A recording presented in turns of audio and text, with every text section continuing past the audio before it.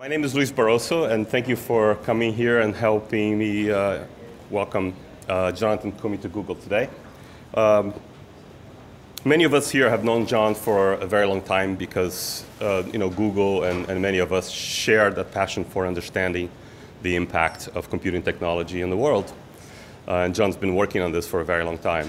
For those of you who are not in the audience and are from Google and therefore are tired of knowing this, uh, Google has cared about the energy efficiency and our impact on the environment for, for quite a while. Um, I believe Google's been carbon neutral since 2007. Um, we have by now invested nearly a billion dollars in renewable energy products, and we have been able to share with the industry and the academic community some of our findings in how we are able to achieve very high efficiencies in our data centers as well. Now, Jon has been a very influential figure in this field, uh, at least over the past decade or so. Uh, and even though uh, his very data-driven approach may be considered a little bit old-fashioned these days, given how quickly some of our political candidates divorce themselves from, from factual data. Uh, uh, uh, Jon really likes data and he likes principled analysis. Some of you may be familiar with some of the studies he did that are closer to what we do here at Google, estimating energy consumption of servers and data centers. Uh, to both studies, the one in 2007 as well as one, uh, another one last year, are very widely uh, cited and, and, respected as uh, good data points uh, in this area. Jon is here today to talk about uh, computing energy efficiency. You see the title, The Computing Trend that'll change everything. After many years at Lawrence Berkeley National Laboratories, he has just joined, uh, let me make sure I say it correctly, Steyer? The Steyer Taylor Center for Energy Policy and Finance at Stanford University as a research fellow. He has co-authored dozens of research publications. Uh, the, he's been the single author of at least two books, one of which is recent and it's here right now, uh, Cold Cash Cool Climate, we happen to have copies of the book here available uh, uh, for purchase after the talk, and Jon will be happy to sign them. Please help me in welcoming Jon Koomey.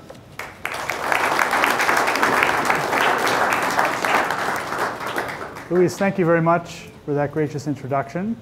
So, in the technology industry, there's always a lot of loose talk about revolutionary change. I'm convinced that we're on the cusp of a revolution worthy of the name. And it's one driven by the energy efficiency of computing and communications. those trends in, in the efficiency of these uh, devices are enabling uh, a proliferation of gadgets that are cheap, that are smart, that are small, that are connected, and are so low power that oftentimes they can scavenge the energy they need from ambient energy flows. So as an example of what's becoming possible, this is a company called Proteus Biomedical. They've created a one cubic millimeter device that goes inside a pill. This pill, in its current incarnation, is a placebo pill that's taken along with other medications.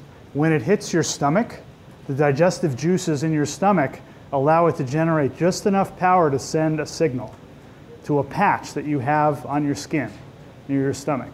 And that then tells the doctor when you took your pills.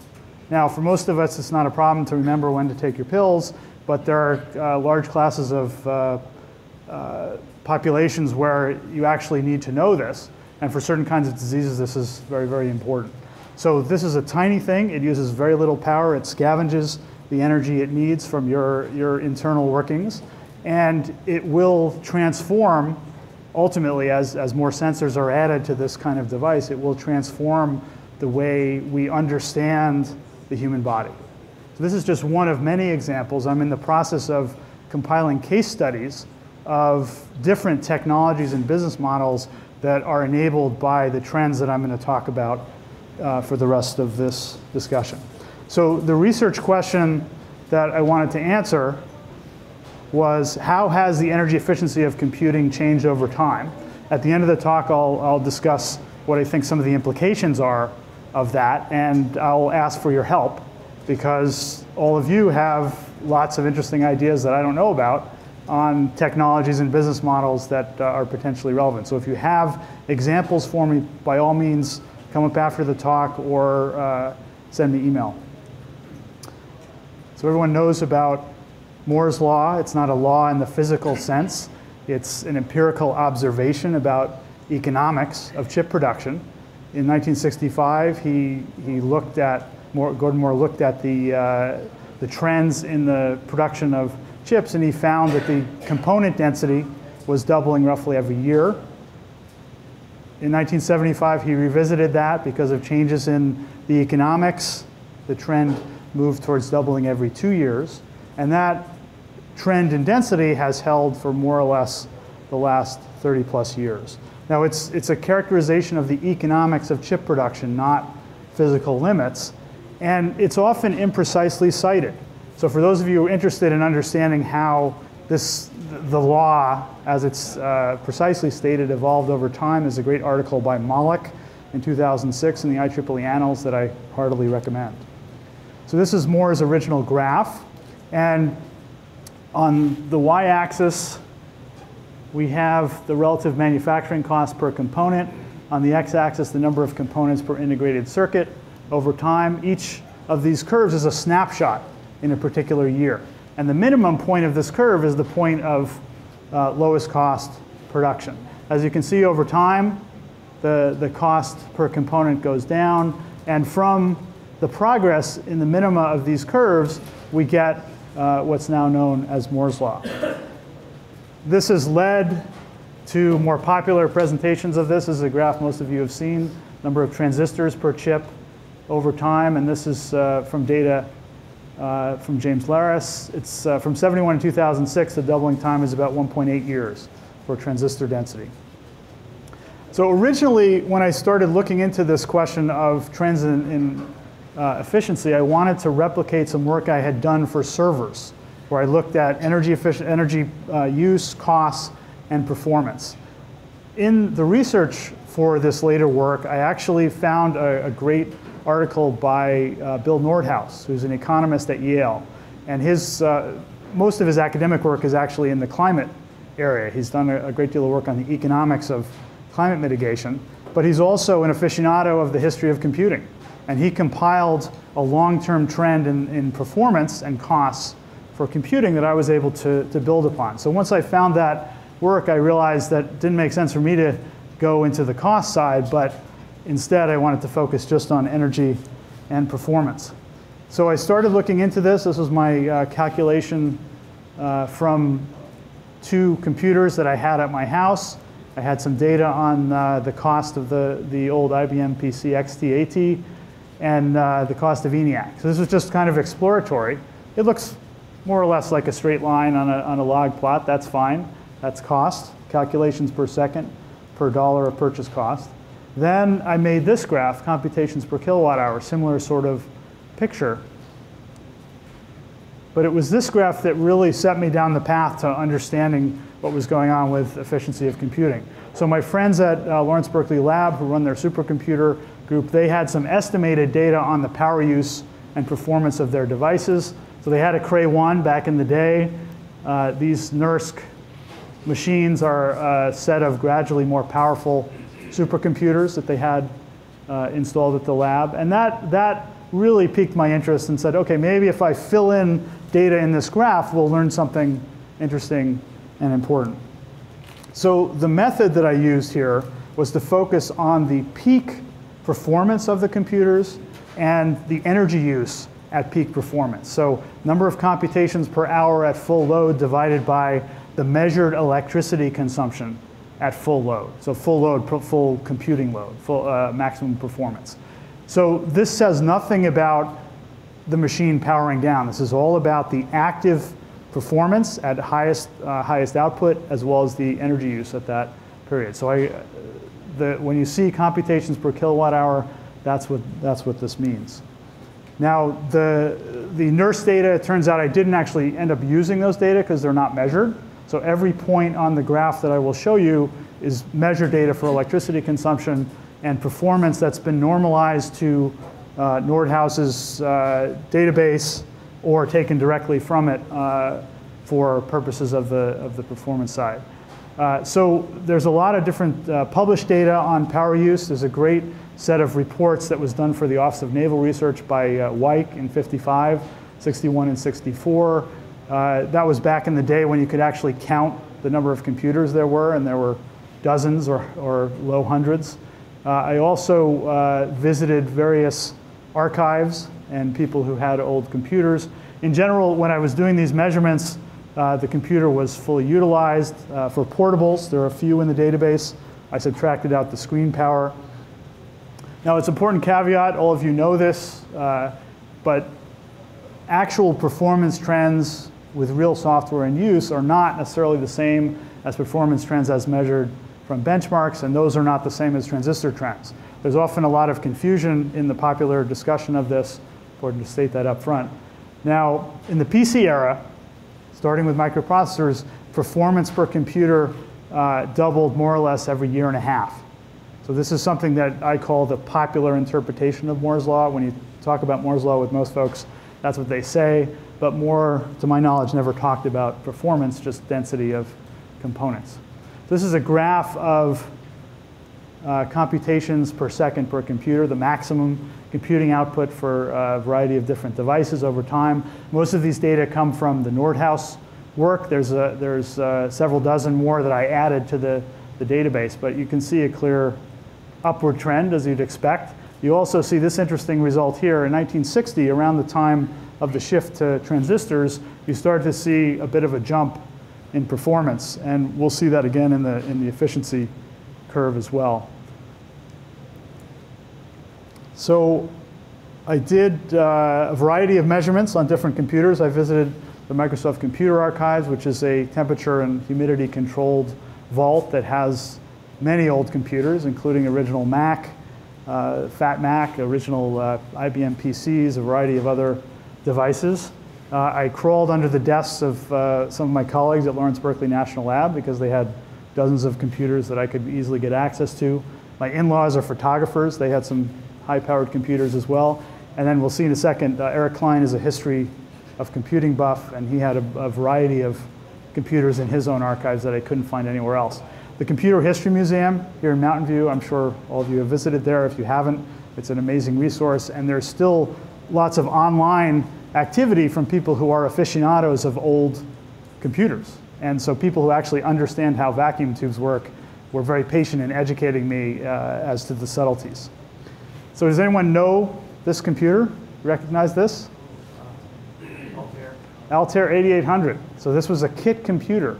It appeared on the cover of Popular Electronics in 1976, and it sold tens of thousands of units. It was the first recognizable personal computer. It looks a lot different than what we're used to nowadays. How about this one? Osborne, yes. This is, this, this is what passed for a portable computer. I'd say luggable is more like it. The screen is about four inches. Diagonally, it's a monochrome screen, and you had to plug it in. So it was really for people who were using it on site. They had power. They needed to carry a computer with them. This one's obvious, uh, an old Apple II. Brings back memories. I did my senior thesis in college on an Apple IIe. So uh, this is just, uh, this is Eric Klein. He has a, a, garage full of old computers, some of which I just showed you.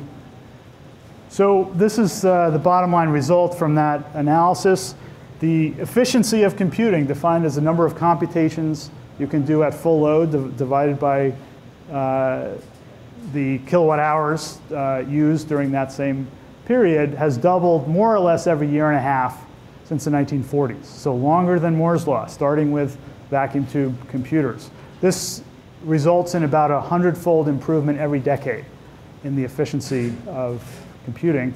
And in essence, this trend enabled the existence of laptops and smartphones.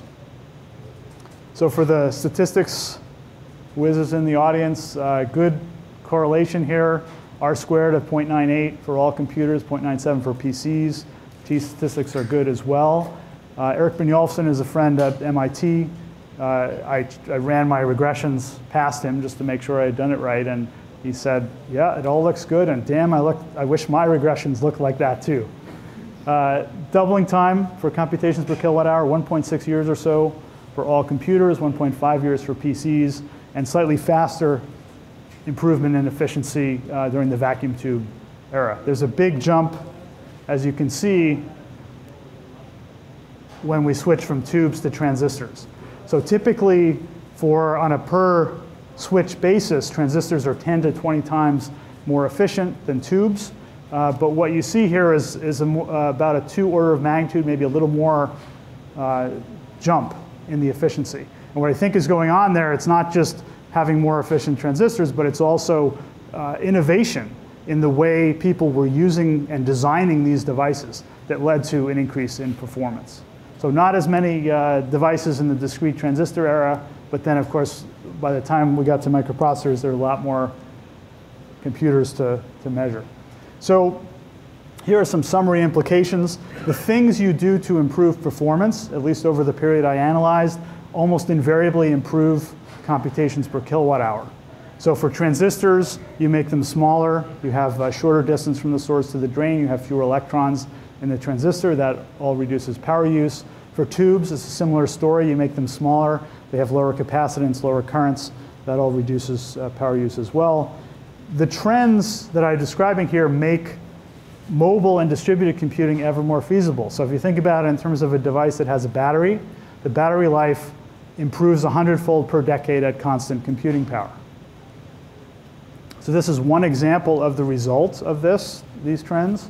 Uh, so this is installed base of personal computers, laptops and desktops. In 2009, for the first time, according to IDC data, laptops outsold desktops.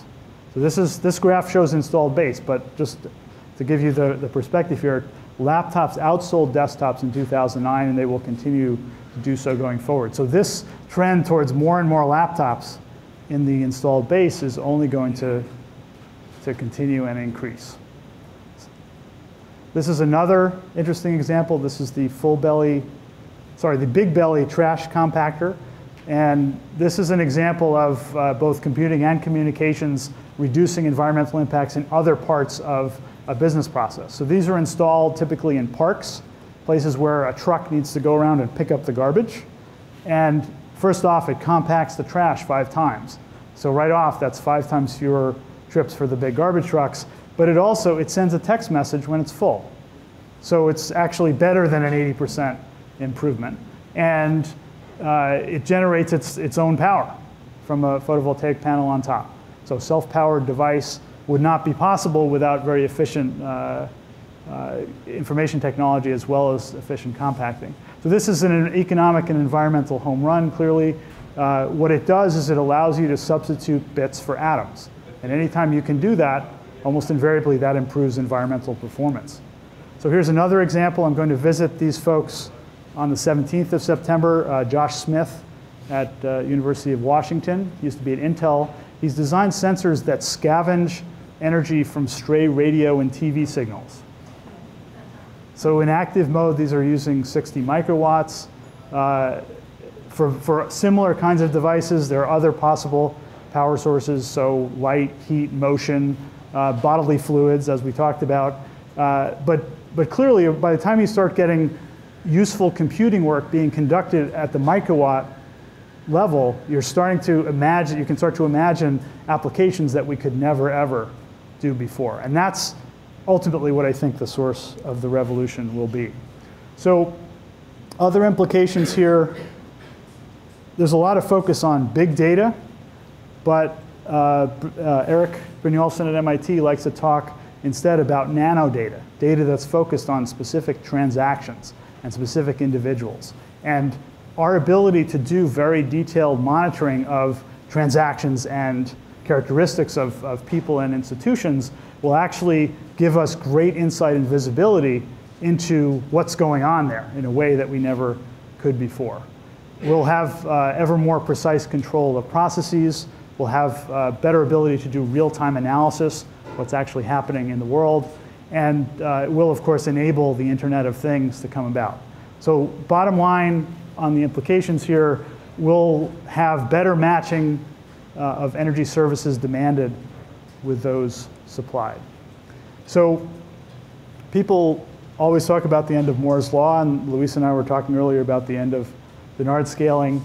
Uh, most folks, when they talk about that, they talk about it from the perspective, the perspective view, saying, here's our technology as we have it now. We're seeing real problems in how we implement this going forward and increase densities and increase performance. What are we going to do to fix that? I'm going to take a different view here, using the historical perspective here. Back in 1985, Richard Feynman, the physicist, he calculated a theoretical limit to the efficiency of computing. Now, he did it by making an assumption. He said, let's assume a three atom transistor. If I do that using my computational wizardry, I can come up with the, the ultimate physical limit for, for computing. He did that. I plotted it on this curve. So here's that same graph that we saw. If you were to extrapolate the trend out to that physical limit, it would take us out about three decades, so to 2041 or so. What this graph tells you, and it's the same story that you're getting from the folks who are worried about Dennard scaling, is that sometime in the next few decades, we are going to have to radically change how we do computing. So this take comes at it from the theoretical limit perspective rather than looking at our current technology. Now, one interesting little clever tidbit, earlier this year, researchers at Purdue the university, not the chicken company, and the University of New South Wales created a reliable one atom transistor. It uses electron energy levels within one atom to do switching. Now it runs at liquid helium temperatures, but what it says is that if we're, you know, if, if we again can radically change how we do this computing, then there's a potential for much higher efficiencies. But again, we're going to have to change what we're doing. So there are some big unanswered questions here. One to me is, are there innovations either in software and hardware that uh, will allow us to substantially exceed this historical rate of change in the efficiency of computing? Conversely, what roadblocks might get in the way and prevent the trends from continuing after this current innovation pipeline of the next five to 10 years is exhausted? And then, of course, what do we do after we reach Richard Feynman's theoretical limit or the one atom transistor limit? Uh, obviously, you know, I don't have the answer to those questions, but I want to I want to summarize what I think some of these uh, the the big picture implications are. So it's not just about computing efficiency. Low power actually is more important than efficiency. You can make slightly less efficient devices that are that are really low power that perform useful computing service. You can put them in places like pills or in you know every every device here giving an, an, IP address to the lights and other things that, that don't need to be connected by wiring. Um, the revolution that I'm talking about is being driven by a confluence of trends. So it's the efficiency of computing, but also the efficiency of communications and the efficiency of sensors. So as we get MEMS devices that can do sensing at very low power levels, then you get all sorts of interesting things that we couldn't do before. And then, of course, efficiency of controls. As soon as you start getting these really low power devices, energy storage becomes really important and the energy harvesting becomes important as well. In most of these devices, the bulk of the electricity use is actually in idle mode. So the active power is not the most critical thing in, in many cases. It's actually how fast can you put the device to sleep and how low can you make the, the power use go. So the engineering challenges are different from building the fastest computer at its, at its peak output. That's a very different set of engineering challenges than building one that is elegantly simple, that powers down quickly, that has very low idle power. It's a, it's a, it's a kind of elegant simplicity that's a little different than the focus on uh, ever more uh, powerful active mode performance. So let me just summarize results here so we leave time for questions. Uh, in the PC era, the performance per computer doubled every year and a half. The efficiency of computing also doubled every year and a half during that period. So those things are, are connected. Uh, from ENIAC to the present, computations per kilowatt hour doubled more or less every uh, 1.6 years. And the things you do to improve performance also almost invariably improve energy efficiency of computing. We're far from the theoretical limits, but as all of you know, there are some uh, technological challenges that we're facing in the coming years. Uh, the biggest implications of these uh, trends is, is for mobile technologies, distributed technologies that uh, are small and cheap and, and connected. And the focus now, not just in the popular press, but in the engineering world, is a focus on low power, figuring out ways to make tiny, cheap, low powered devices that can be self powered and put in places that we never could imagine putting them before. And that's, as I said, a different set of engineering challenges. Some of the best engineering talent in the world is now focusing on that area, and I think great things will come from that. So uh, my uh, three-year-old, three and a half-year-old twins have better Spanish pronunciation than I do, but Viva la revolución. Uh, this is where I want to ask for your help. So if any of you are aware of technologies, business models, companies doing interesting work enabled by ultra low power, ultra high efficiency, energy scavenging devices, I would like to hear about it. So come up after the talk, send me email, and let me know what you're thinking.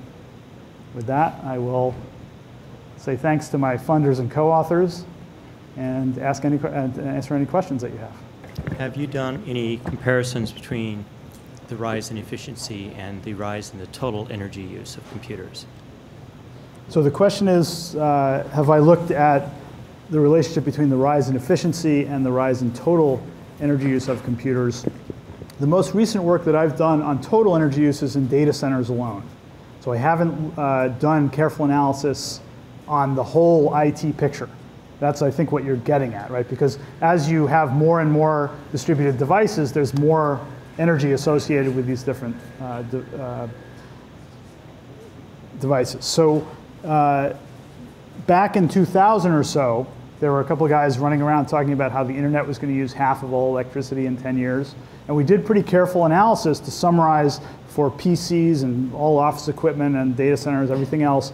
The number for the US was around 3% of all electricity use. My bet is that that's a little higher now, but it's probably still single digit percentage because we're, what, what's happening is we're, at the same time as we're increasing our usage of computing, we're also starting to shift towards technologies that are more efficient. So shift away from CRT screens, shift towards laptops, more computing being done on handheld devices. So you have countervailing trends. It's, it's clear that, there, that things, we're using a little more electricity for IT than we did in 2000, but it's not exploding in the same way as the amount of information services is exploding. One of the, we're looking at these uh, from a technology standpoint. Uh, you sort of understand the economics of this better than I do. Um, the late uh, Chuck Moore, another Moore, not that one, uh, uh, architect at uh, AMD, um, used to talk about um, this virtuous cycle in computing in which new technology was created that created devices that were fairly amazing, and then those devices had a market value that allowed you to get a lot of money to invest in new technology, right? And these sort of kept going forward. At the time that he mentioned that was first, uh, he was concerned that uh, them being in the PC business, that uh, perhaps computers are fast enough, and therefore this virtuous cycle would end due to the fact that uh, it was harder and harder to create new value on top of what they had, mm. sort of at that point. What, what, do you, what, what do you think of that? So so the question relates to uh, the idea that, that somehow you're, as you, uh, you reach kind of a saturation in the performance of the, or sorry, the need for people's, for computing for people, that, that the PC business in particular would be affected by this. That's one way to, to that's, that's one example. It's one example. So what I, what I think you're seeing is devices that are coming closer and closer to tasks. So the PC is a general purpose device. And I think we have saturated for most folks, so, you know, my mom using email, we, she doesn't need much more performance, right? But what we do need is distributed performance, distributed computing that is much closer to the actual task that we're trying to perform and can help us make decisions in real time. You aren't going to carry your desktop computer with you all around, but you have your phone. And so I think I don't think it's, it's going to result in a, a, slower innovation path or less value. It's just going to be value to different companies. Companies who are able then to, to create innovation for particular sets of users, for particular kinds of tasks, and deliver that innovation to folks who, who need it. So a, a strange example, I saw a scale that, ha- that is connected via Wi-Fi to the internet. You have that scale, okay. So this is a very interesting thing because how much do you think a, scale costs? So just a normal scale? 20 bucks, 30 bucks. How much do you think they sell these scales for? $100. Okay. So here's an example where the, this is pretty much the same device. It has a very, you know, some chips in it, a few other little things that maybe cost five or 10 bucks, but they're delivering customer value that makes you want to pay 100 bucks for it. So you can't lie about your weight anymore. Uh, but, but you have you know, automatically it comes up to the cloud and it, it you know, creates a, a nice graph for you of what's happening over time. So I think that's an example where the customer value that you're creating is because you're really close to their need for information and their decision. And that's a different thing from creating a general purpose computing device. I think we're going to really focus much more on that need for uh, specific, focus on specific tasks. Uh, yes, hi. Uh, I had a quick question for you. Uh, could you comment on the trends in uh, the chemical batteries? Uh, Chemical, batteries? Chemical like, batteries. Um, I can see that there's like this on the log scale, you have this straight line for uh, computing power increasing over the decades. Uh, but what's been the situation with the batteries and innovation in chemical batteries? Okay, so the, so the question is uh, on the rate of innovation in chemical batteries. And obviously the trends there are, the changes are much slower.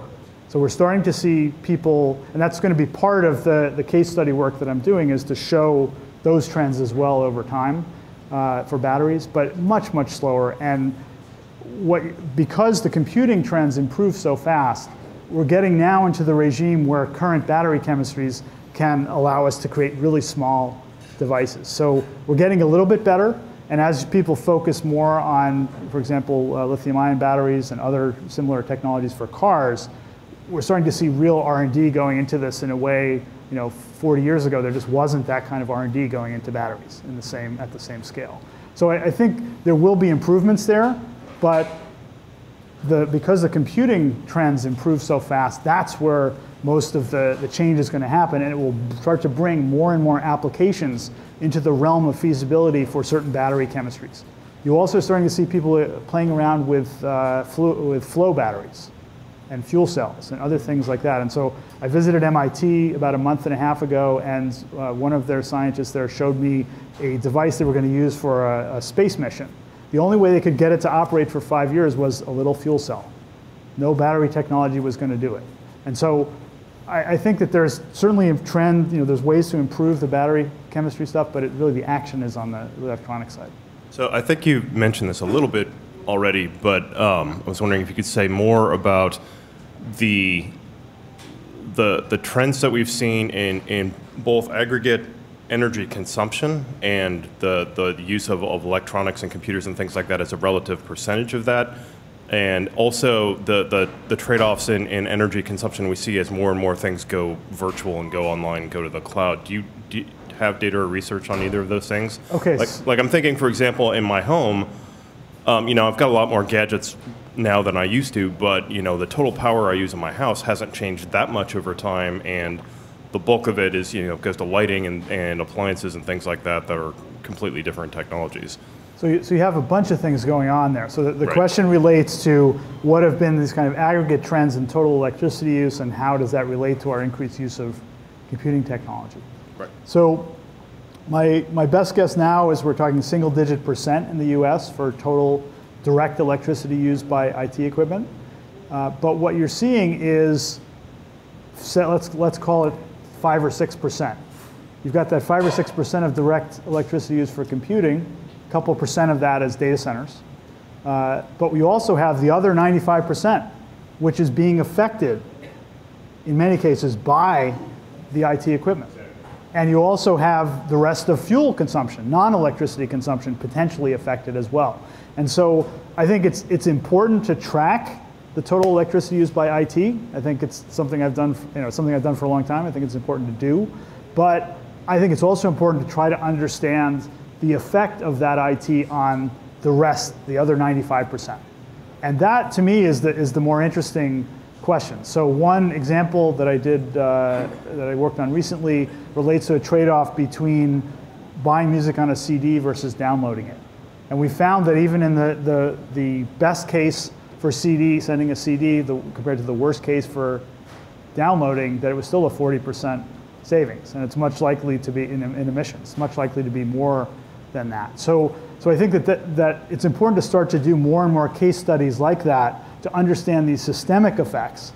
Because the direct electricity use, while important, is not something we should be getting very excited about. Because it's, at the end of the day, it's a pretty good use for the electricity, in my view.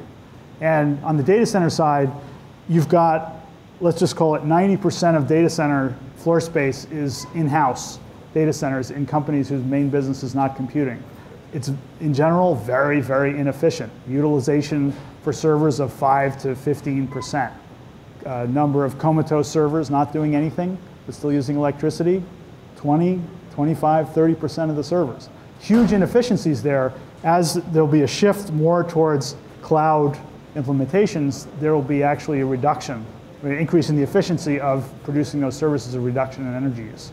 So there's a huge potential for improvements in data centers simply by shifting towards a more efficient way of delivering the services.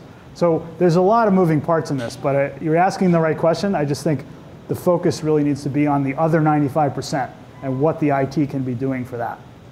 When you mentioned 5 to 6% uh, usage by IT, does that count the, the cooling of those data centers, or Yes. is it? So the 2% So it's- for data centers, 2% for data centers includes everything related to the infrastructure. Okay. Cooling, fans, pumps, everything like that. I had a similar question about your data set that spanned many decades. Did you try to make, uh, include in some way the cooling or other overhead outside of the, you know, the ENIACs and Yeah, the so that, giant okay, so that's machines? a good question. Actually, for this particular set of trends, I did not include cooling because I wanted to get at the characteristics of the IT equipment itself. I wonder if the, uh, the effective efficiency doubling time for some periods of history has actually been much shorter. Uh, It's a good, Yeah. it's a good question. I think that uh, there's been changes in the way that those services have been delivered that, that would be hard to track. But I agree, it's something that should be looked at. Have you looked at the delivered computation as opposed to the, the computational efficiency? In particular, what I'm thinking of is the software efficiency. You know, 20 years ago, I had a window manager that was about as responsive as the one today, but it takes way more instructions. Yeah, so, so the question relates to looking at software efficiency as opposed to hardware. And this is actually, to me, this is a fascinating area because in the past, we've mainly thought of performance as a question of hardware. We said uh, Intel will give us, or AMD will give us more performance. We just don't have to worry about our code. Well, I think that's changing, particularly as the need for parallelism. You know, you have a lot of cores, you have to change your software. It's very important.